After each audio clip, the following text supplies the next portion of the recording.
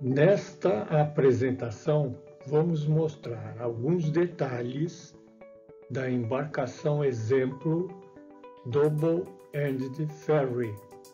São apenas esboços iniciais, com ideias muito simples, fáceis, de baixo custo, com arranjo e estrutura clean, sempre pensando em equipamentos tipo plugin fáceis de desmontar, de montar e com previsão de toda a manutenção interna, melhor e mais econômica, levando a bordo somente o necessário sem ficar transportando peso inútil.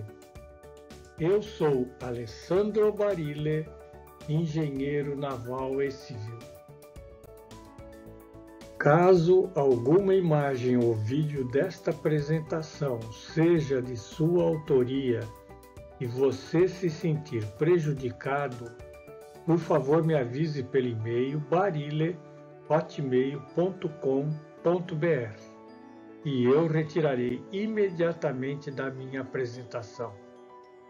Não construa embarcação exemplo sem autorização por escrito do autor tem direitos autorais. Não copie, não critique, desenvolva seu próprio projeto. Meus agradecimentos aos engenheiros Volpini da CCR, do Davi da Schotel e do Jairo da VEG pelas informações fornecidas e que me ajudaram muito na concepção deste projeto.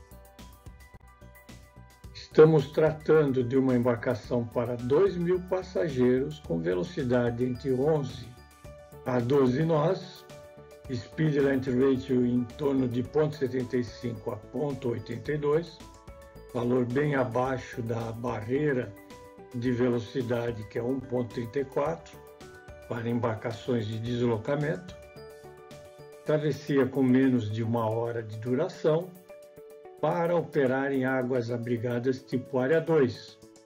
Trata-se de áreas parcialmente abrigadas, onde eventualmente sejam observadas ondas com alturas significativas e ou combinações adversas de agentes ambientais, tais como vento, correnteza ou maré, que dificultem o tráfego das embarcações. Atendendo à norma 02, a arqueação bruta prevista para essa embarcação é maior do que 500 e o número de tripulantes previsto é em torno de 10 pessoas, 10 tripulantes. Por que double-ended ferry? Porque reduz o tempo de travessia, reduzindo o tempo de manobra. Reduz os riscos de abaulamento entre embarcações, saindo e chegando, próximo ao pier de embarque e desembarque. Por que monocasco de deslocamento? Para baixas velocidades com speed length ratio bem menor que 1.34, a resistência de fricção é predominante e esta depende basicamente da área molhada. O monocasco apresenta menor área molhada que o catamarã ou trimarã e leva a menor potência de propulsão, também é uma embarcação de menor custo. Estabilidade e conforto. Os monocascos apresentam boa estabilidade e conforto para os passageiros. Por que forma quinada e casco tipo balsa? Por se tratar de uma forma construtiva mais fácil e o necessário e suficiente para uma travessia em águas abrigadas com baixa velocidade. serão instalados quatro propulsores do tipo azimutal. Houve necessidade de acrescentar olhos de boi para fixação dos propulsores, de forma a posicionar os hélices o mais baixo possível para o baixo calado da embarcação. E foi adicionada rabeta para dar maior direcionabilidade à embarcação. Os propulsores serão do tipo Twin Propeller, de alta eficiência, apropriados para pequenos diâmetros de hélices. O próprio azimutal já vem com redutor de fábrica e é acionado, no nosso caso, por um motor elétrico. Serão dispostos quatro grupos geradores, um em cada extremidade da embarcação. Cada gerador será responsável para suprir energia para cada propulsor e para todos os sistemas de um quarto da embarcação. A ventilação desses grupos geradores será do tipo natural. A casa de comando é única e posicionada bem acima do convés superior, dando ampla visibilidade ao comandante.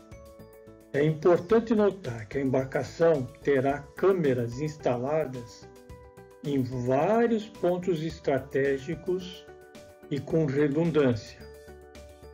Os acessos laterais terão recesso para aumentar o ângulo de inundação da superestrutura interna.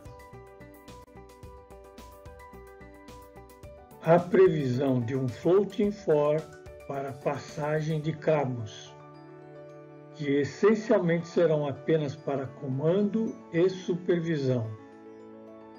Cadeiras para o comandante e primeiro oficial, exatamente como numa aeronave, piloto e copiloto elas serão giratórias para permitir o giro de 180 graus no retorno da embarcação. Escada tipo caracol para acesso da casa de comando. Só para ter uma ideia do arranjo interno do Airbus A380-800, um ótimo projeto um conjunto de cadeiras em cada lateral, um conjunto de cadeiras no centro, um corredor em cada bordo entre os conjuntos de cadeira. Ele mede 72 metros de comprimento, o número de passageiros sentados é de 853, o passo de assentos é de 813 milímetros aproximadamente, tem saídas de emergência por um bordo, são cinco saídas de emergência, e pelo outro bordo. WCs, dois WCs na parte traseira, um WC na parte da frente, quatro WCs no centro do avião e um WC para paraplégicos e não paraplégicos, homem e mulher. Notar que quando o protótipo da aeronave fica pronto, ele é lotado com pessoas e é testado quanto ao tempo de fuga. E esse tempo deve ficar dentro de um valor máximo requerido por normas. No convés principal serão instalados quatro WCs para paraplégicos, um em cada extremidade. E no convés superior nós teremos dois banheiros, masculino e feminino, em cada extremidade do salão de passageiros. Temos as saídas de, e acessos no convés principal pelas laterais, pela proa e pela popa. E no convés superior nós temos as saídas e acessos pelas escadas situadas a meia na proa e na popa rotas de fuga do convés principal e convés superior.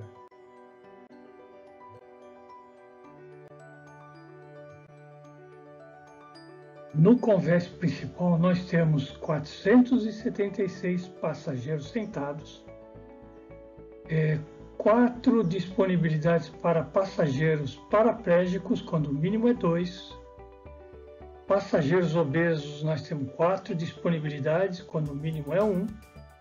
Passageiros com deficiência, disponibilidade para 8, quando o mínimo é 4, e número máximo de passageiros em pé é 547, considerando 4 passageiros por metro quadrado, e nós vamos considerar só 508 passageiros para termos no máximo 1.000 passageiros para o convés principal.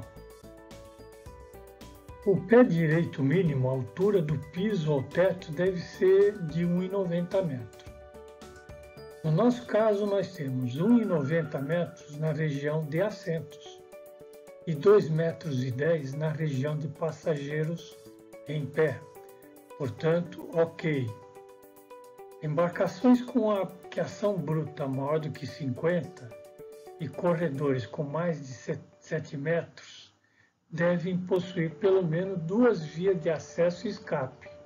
Ok, nós temos duas vias. Corredores com L, com comprimento de corredor menor que 10 metros, devem ter uma largura mínima de 650 milímetros. Se o corredor tiver mais do que 10 metros, a largura mínima deverá ser 650 mais 50 vezes L menos 10 dividido por 2, mas também não precisa ser maior do que 800 milímetros. No nosso caso, nós temos 20 metros o que vai nos dar um mínimo entre 900 e 800. No caso, adotaríamos 800. A nossa embarcação tem um corredor com 2 metros de largura, portanto, está ok. A largura mínima dos corredores internos do salão de passageiros deve ser de 800 milímetros para 20 filas acima de 20 filas, a largura deve ser calculada por essa fórmula. No nosso caso, nós só temos 18 filas, logo estamos abaixo. Poderia adotar 800 milímetros, mas no nosso caso nós temos 2 metros de largura de corredor, logo está ok.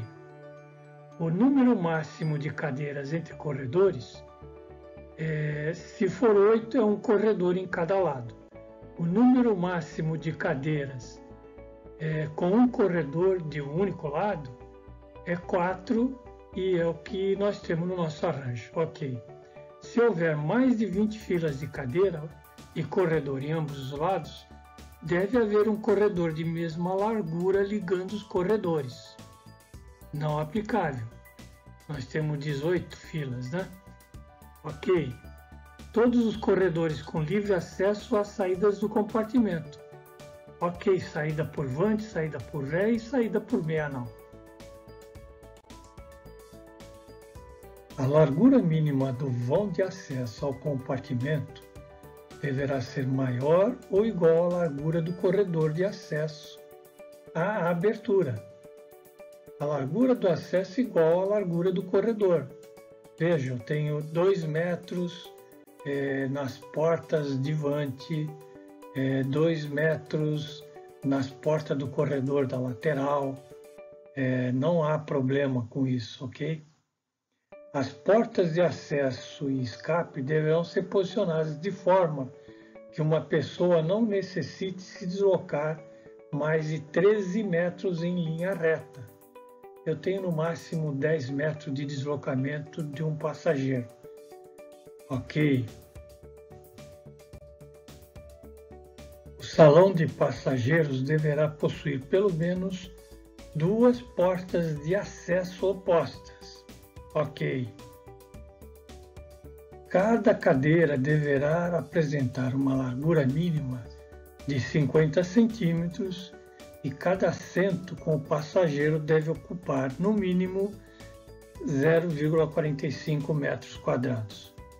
No nosso caso, o passo de cadeiras é 0,9 metros e a largura do assento é 0,50. Logo, é, o espaço ocupado por um passageiro é de 0,45 metros. Então, está ok isso também. Só poderão ser transportados passageiros em pé para travessia com menos de uma hora de duração, Travessia com menos uma hora de duração no nosso caso. Ok. Área mínima requerida para transporte de passageiros em pé é de 4 passageiros por metro quadrado. Nessas áreas não podem ser consideradas as áreas de escadas. No nosso caso, nós temos o corredor, 2 metros, vezes 15,3 metros de corredor de comprimento e um quarto da embarcação. Também temos a área na frente da escada de 2 metros de largura por 1,80m é, de comprimento. Logo, é, fazendo as contas, chegamos em 136,8 metros quadrados e chegamos ao número de passageiros em pé de 547. Notar que avante do assento do paraplégico, da posição do paraplégico e do sanitário do, plana, do paraplégico, nós não permitimos é, passageiros, justamente para facilitar a ida do paraplégico ao sanitário. Portanto, norma atendida. A altura mínima pé direito das unidades sanitárias é 1,8 metros. No nosso caso, vai ser atendido é, para a condição de pessoas em pé.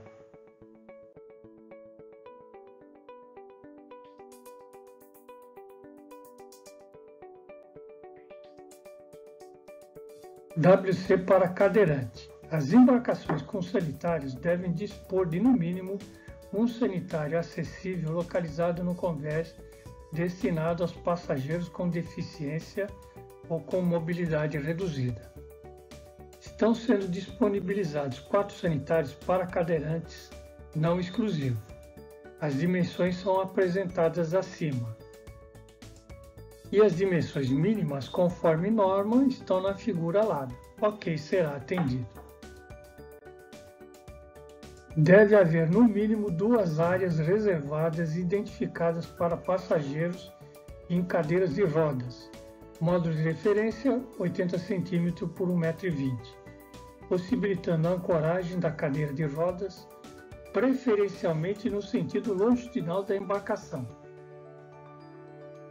estão sendo disponibilizadas quatro áreas para cadeira de rodas. Devem ser disponibilizados quatro assentos preferenciais destinados às pessoas com deficiência ou com mobilidade reduzida, preferencialmente situados na fileira do corredor e próximos aos acessos de embarque e desembarque. Estão sendo disponibilizados oito áreas para assentos preferenciais está sendo atendido. Deve ser disponibilizado pelo menos um assento preferencial para pessoas obesas com largura igual a dois assentos. Está sendo disponibilizado quatro áreas para pessoas obesas. Ok, será atendido. Os assentos da embarcação reservados aos passageiros com deficiência ou com mobilidade reduzida deve apresentar apoio de braços retráteis, de modo a facilitar a transferência da pessoa da cadeira de rodas para o assento. Vai ser atendido. As embarcações com sanitários devem dispor de no mínimo um sanitário acessível localizado no convés destinado aos passageiros com deficiência ou mobilidade reduzida Ok, vai ser atendido.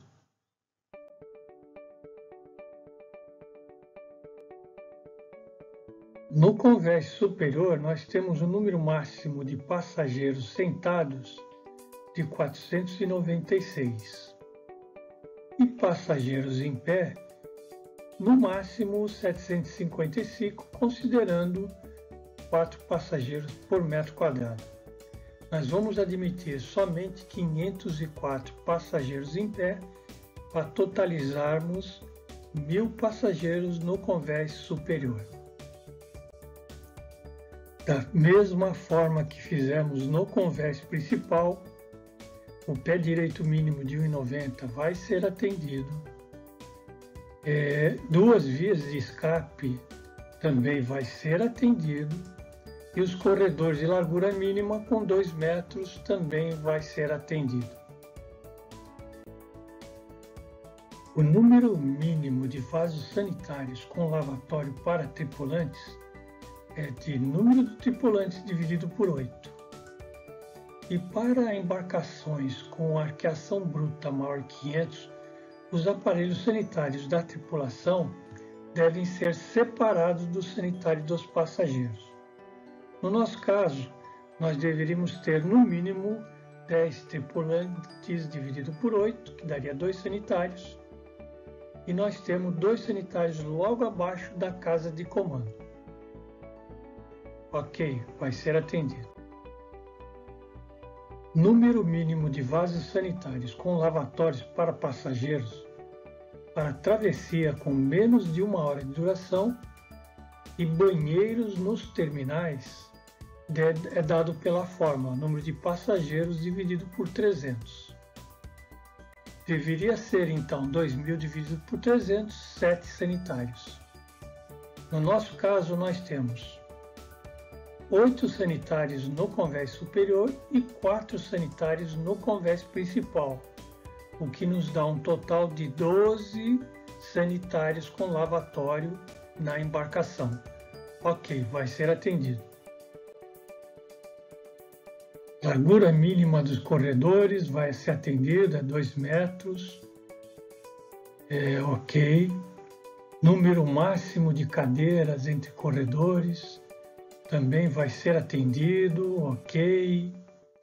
Se houver mais de 20 filas de cadeiras e corredor em ambos os lados, deve haver um corredor de mesma largura ligando os corredores. Ok, também vai ser atendido. Todos os corredores com livre acesso às saídas do compartimento. Ok, temos escada avante, escada meanal. A advante leva direto ao convés principal e para fora da embarcação e a meia nau leva para a saída lateral que também dá para o pier. Ok. Largura mínima do vão de acesso, igual à largura do corredor de acesso à abertura, ok, vai ser atendido. As portas de escape e acesso deverão ser processadas de forma que uma pessoa não necessite se deslocar mais de 13 metros em linha reta. Ok, também vai ser atendido. O salão de passageiros deverá possuir pelo menos duas portas de acesso opostas. Ok, eu tenho acesso avante, a ré e nas duas laterais. Vai ser atendido. Cada cadeira deverá apresentar uma largura de 50 centímetros e cada assento com passageiro deve ocupar no mínimo 0,45 metros quadrados. Ok, vai ser atendido. Só poderão ser transportados passageiros em pé para travessia com menos de uma hora de duração. Ok, vai ser atendido. A área mínima para passageiros em pé de 4 passageiros por metro quadrado. Não podem ser consideradas escadas, é, vai ser atendido, estamos com um número bem superior a que vamos colocar no projeto, e a altura mínima das unidades sanitárias 1,8 metros, nós vamos atender para regiões de passageiros em pé no sanitário.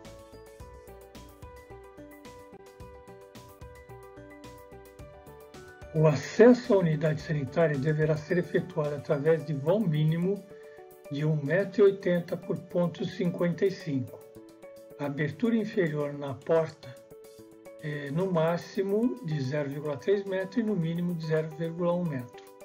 Ok, será atendido. Dimensões mínimas de uma unidade sanitária individual, largura e profundidade mínima conforme croquis alado vamos estar com valores bem acima dos valores mínimos, ok. As cadeiras em unidades de quatro lugares serão padronizadas e com sistema de fixação do tipo plugin, similar ao avião, fácil de instalar, retirar e mudar de passo. As forrações também serão do tipo de encaixe, facilmente removíveis e de material leve. instalações elétricas, ventilação, exaustão, ar-condicionado, tubulações em geral e outros sistemas ficarão compreendidos entre a forração e a estrutura da embarcação. Os pisos, se necessário, serão de placas do tipo sanduíche, leves e facilmente removíveis. Deixamos aqui uma bibliografia para quem quiser se aprofundar mais sobre o assunto. Estamos terminando mais uma apresentação de embarcações, essas máquinas maravilhosas. Se você gostou, indique a seus amigos e inscreva-se no canal, o canal da Engenharia Naval. Obrigado.